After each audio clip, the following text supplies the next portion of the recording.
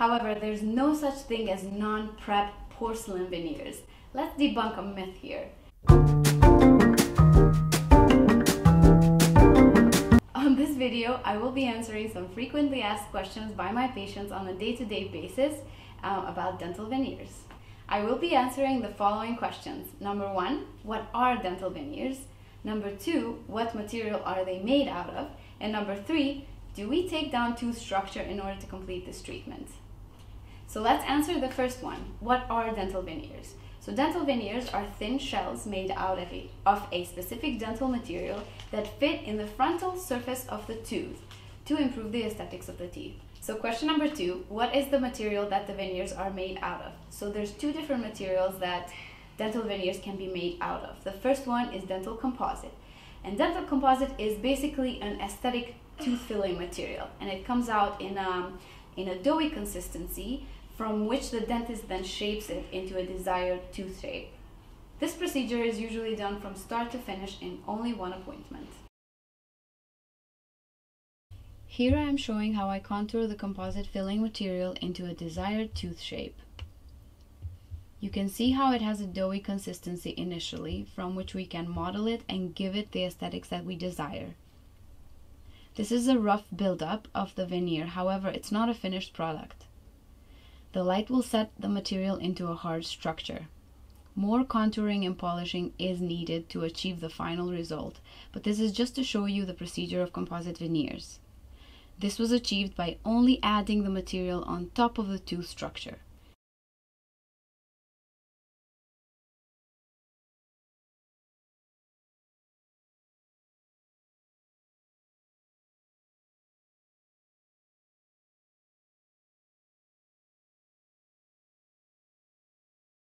Here is the before and after of the rough build-up, coming up soon.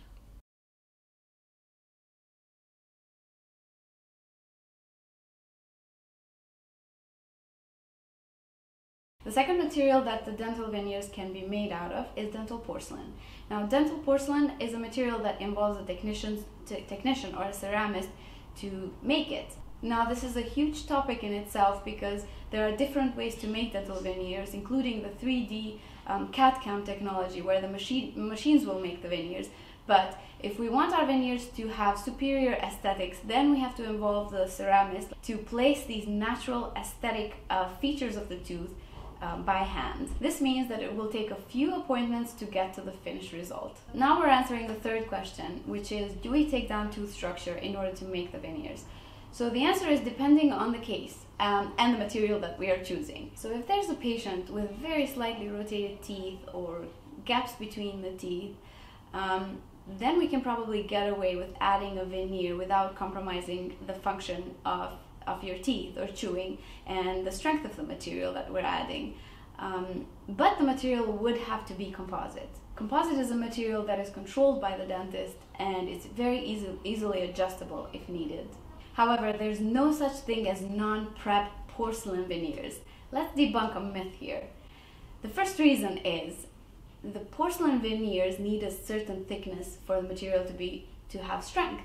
So um, the minimal thickness in some areas is 0.3 millimeters, but in some areas is uh, one millimeter, up to one millimeter. So if we add that on top of your tooth structure, um, non-prepared tooth structure, um, your teeth will look bulky and and and tall and big right overall. So that will not necessarily improve the aesthetics that you're looking for with dental veneers. So in order to achieve that aesthetic result we have to prepare your teeth. The second reason is that the porcelain veneers have to be made by a technician or a ceramist. So the dental technician or a ceramist has to have a copy of, uh, of the mouth so basically either in a digital scanned form or a actual model.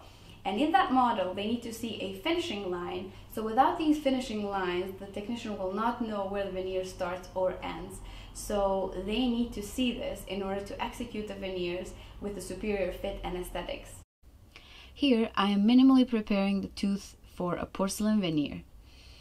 There are several techniques used to prepare the teeth.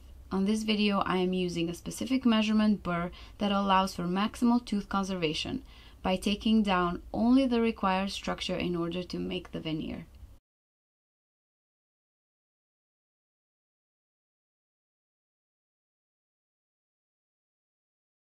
Here I am showing the finishing lines that the technician or ceramist needs in order to fabricate the porcelain veneers.